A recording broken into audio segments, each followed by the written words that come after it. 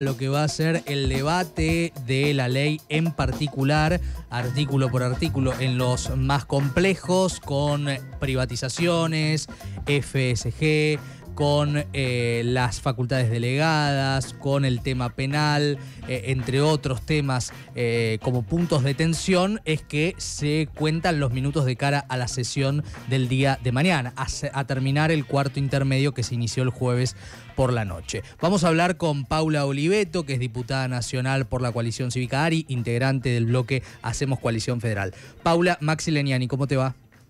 ¿Qué tal, Maxi? ¿Cómo estás? Buenas noches. Buenas noches, gracias por el tiempo. Eh, Paula, ¿cuál es el panorama que ustedes vislumbran? Eh, me imagino que en horas de, bueno, de conversaciones, de la búsqueda de mejorar todavía los puntos que pueden darle al, a la Argentina más que a mi ley, ¿no? Eh, algunas herramientas para, para salir de la crisis. ¿Qué están viendo hasta ahora? Bueno, sí, seguimos buscando alternativas. Eh, en principio tomo lo que vos decís, no no ayudar a un a un presidente, sino a un gobierno que tiene apenas 60 días y que tiene que tener las herramientas para poder gestionar una economía que es muy desafiante. Ahora, tenés eh, que hacer un análisis en dos planos. Algunas cosas nosotros no las podemos acompañar, si bien votamos en general el proyecto, eh, porque no creemos en que sea la solución que la Argentina necesita. Para mí es mi íntima convicción, pero también de nuestro partido. Una situación de crisis tan profunda no se resuelve con menos institucionalidad, porque si vos mirás la historia argentina, cuando se bajaron los estándares de la, de la constitucionalidad y de la institucionalidad, eh, las crisis se profundizaron. Yo recuerdo eh, los superpoderes a caballo, ahí se inicia con Lilita, la, la coalición Bailari en ese momento. y, y, vos fijate, eh, después lo que fue la especificación asimétrica también fue dada por superpoderes, la disponibilidad de los, del presupuesto sin pasar por el Congreso también fue por superpoderes. Y cada vez que se dieron superpoderes, eh, se resintió muchísimo el pueblo. Y además no hay sentido eh, de darle superpoderes al presidente Milei, como no se lo aprobamos a ninguno, ni siquiera a Alberto Fernández. Vos fíjate que por los superpoderes Alberto Fernández cerró las escuelas dos años.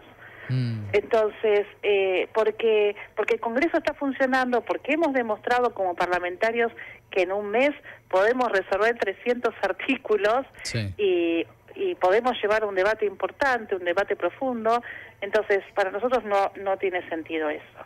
Y después, bueno, para, para la coalición cívica es un tema gravitante los jubilados, es un error del gobierno haber retirado la fórmula, eh, o sea, no, primero fue un error querer suspender la fórmula eh, de actualización. Y después fue un error no llevar a un debate de cómo actualizamos, porque los jubilados están muy mal, muy mal en la Argentina. Han perdido entre el 30 y el 50% de sus saberes, la inflación impacta en ellos de manera profunda. Vos fijate, alimentos y, medicamentos, los aumentos que, que hubieron. Entonces nosotros vamos a insistir con nuestro dictamen de minoría que tiene una fórmula y queremos que se discuta. Sí. De hecho, eh, Paula, estamos hablando con Paula Oliveto, un dato a partir de, eh, bueno, el dato del domingo, el día de ayer, que fue el dato de CAME, ¿no? De la caída del consumo en enero del 28,7, cuando uno desagrega el índice de ventas minoristas, eh, la caída en el ítem farmacia es del 45%. Y uno sabe lo que significa para adultos mayores, Paula. efectivamente, el ítem farmacia, ¿no? y y también algunos casos que tienen la posibilidad de pagar una prepaga con el DNU desregulándoselas que les emparda lo que terminan cobrando una pareja de jubilados, ¿no? Digo, estamos en un momento en el cual da la sensación de que para este y otros sectores no están apareciendo medidas que recompongan un pasar económico muy complejo y muy golpeado, ¿no? Y, sí, y, y nada, ¿qué le puedes pedir? Un esfuerzo a un jubilado que gana 110 mil pesos.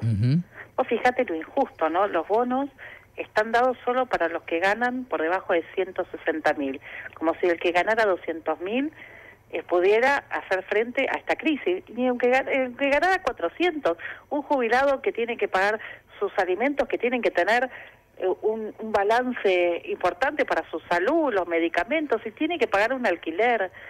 Eh, es una tragedia ser jubilado en la Argentina y no está en el debate público. Vos fijate que hablaron los gobernadores, hablaron los productores, que está bueno que tengan voz. Ahora, de los jubilados, pocos estuvimos hablando y solo la coalición cívica en su dictamen de minoría propone una, una alternativa y una fórmula. Y ahora estamos eh, presionando, que no es mala la palabra porque en este caso tiene un fin noble, mm. para, para ver si podemos eh, debatirlo en el, en el recinto mañana o, o cuando toque ese capítulo. Claro. Eh, Paula, te quiero preguntar también por lo que significa privatizaciones, ¿no? Que es un tema también complejo porque hay una especie de generalización con el tema de las privatizaciones, ¿no? Dentro de las empresas a privatizar, más allá de lo que cada quien piense del rol del Estado, lo público y lo privado, hay empresas que son superavitarias o que son estratégicas y demás. ¿Cuál es la posición que tienen ustedes en la coalición cívica dentro del bloque Hacemos Coalición Federal? Nosotros en el dictamen, eh, primero recordemos que la Coalición Cívica hizo un análisis hace poco sobre las empresas del Estado, cómo, cómo es su, su patrimonio neto, cómo ha sido su evolución, cuáles son las que tienen eh, mayores dificultades. Por ejemplo, el caso de ferrocarriles es escandaloso, la cantidad de empleados y, y demás.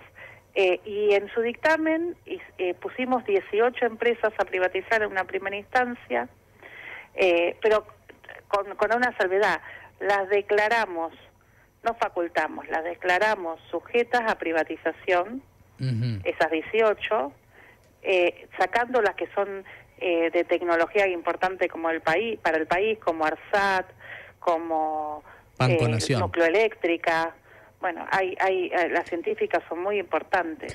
Eh, tenerlas, imagínate el, espacio aéreo, una empresa privada, las comunicaciones podrían estar regidas de una manera que no que no, no democrática. eh, Pero además nosotros eh, trabajamos el tema de que eh, los pliegos tienen que venir al Congreso, eh, tiene que haber buenas prácticas eh, para el resto de las empresas, para las empresas que quedan en el Estado, eh, tiene que tener buenas prácticas administrativas, tienen que ser saneadas, tienen que poder demostrar que se pueden sostener, si no, empezarán un proceso también de privatización, eso está arreglado, la intervención de la AGN en lo que es este, la auditoría de corte y también en lo que tiene que ver con, con los pliegos. Y eh, y espérame que te tengo que decir, pues estoy...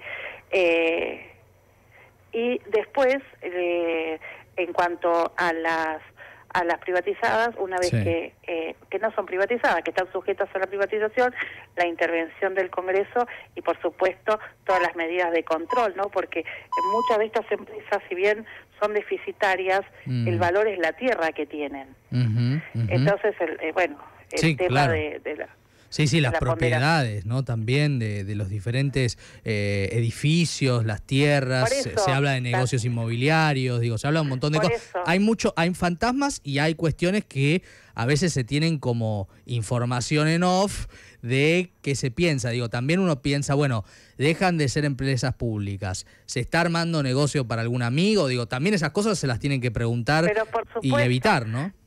Mira, yo que trabajé en el análisis acá y viajé a España para ver la quiebra de, de, Petersen y toda la, historia de la falsa estatización de, de IPF cuando la compró el grupo Eskenazi, eh, ahí también era un, el tema de que se la quedaron los amigos, y se la mm. quedaron para comprarla con utilidades de la misma empresa sin mm. poner un peso. Y hoy tenemos un juicio en Estados Unidos de 16 mil millones que la justicia argentina no investigó a pesar de que tiene la denuncia presentada hace muchos años. Y en ese mm. caso específicamente se analizaba la tasación del Tribunal de Tasación, porque todas estas empresas, para su valor, tienen que ser tasadas por el Tribunal de Tasación, o sea que los activos tienen que estar este, ponderados en un informe de tasación. Y vos sabés que en ese caso, el, el, Brufau y Repsol recibieron eh, del Estado argentino lo mismo que, eh, o sea, habían pedido lo mismo que terminó tasando con posterioridad el Tribunal de Tasación. Por eso eh, las trampas existen y la única forma de anteponerte a las trampas es mayor control, mayor institucionalidad eh, y muchas muchos ojos viendo el, proceso. Y la otra cosa que puede haber es eh, que está en el DNU, que es que capitales privados ingresen a algunas empresas públicas, pero todavía nosotros no no tenemos constancia de, salvo en el caso de eh, de Banco Nación no tenemos constancia de un plan de negocios, que es lo mismo que hoy tiene IPF, porque vos fíjate sí, que, es capital mixto. Sí, sí, sí, claro. Es capital mixto. Sí. Paula, te quiero preguntar sobre un tema final. Es Paula Oliveto con quien estamos hablando, diputada de la coalición. Estoy siendo larguera con las respuestas, estoy muy embalada. no, está muy bien, está muy bien, pero te hago la última. Eh, ahí apelo a tu brevedad, pero me, me interesa tu definición, porque la coalición cívica en general en estos temas está muy atenta siempre. Hoy tuvimos una fila de 27 cuadras de personas que después de que eh, la ministra les dijera vengan una por una sin intermediarios, fueron a pedir ayuda. Estamos hablando de sectores muy vulnerados, la iglesia también salió. Digo, ¿qué impresión te da eh, que una ministra diga, bueno, vengan sin intermediarios, la gente va sin intermediarios y no dice no los, no los convoqué así que no los recibo? tristeza, preocupación, no está llegando la comida. Toti Flores nos hizo un informe el otro día, un relevamiento, no está llegando la comida a los comedores. Hay gente en la Argentina que pasa hambre, hambre en serio.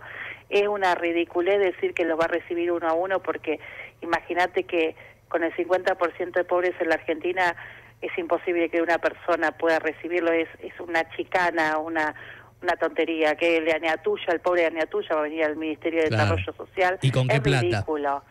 Eh, tiene que estar sólido los canales que tiene que tener un Estado para la asistencia a través de sus funcionarios, a través de sus instituciones, tienen que comprar comida, tiene que llegar esa comida a la gente, tienen que actualizar el, el monto de las de la, de la asistencia alimentaria, porque los precios de los, de, las, de los alimentos están eh, desbordando y, está bien que quieran quitar la, la, intermediación. Ahora, no es de la noche a la mañana y no es, eh, no es la como consecuencia tiene que ser que una persona no pueda comer. eso, eso yo no, a mí no me entra, eh, no hay, yo dije el otro día en un discurso, no hay libertad posible si vos no puedes decidir a la noche que le das de comer a tus hijos. Eso es básico. Exactamente, exactamente. Bueno, ojalá se piense en esa libertad y no solamente sobre las desregulaciones. Paula Oliveto, gracias Paula por el tiempo, muy amable. gracias la diputada de la coalición cívica, integrante del bloque Hacemos Coalición Federal, Paula Oliveto, a las 8 de la noche y 34 minutos.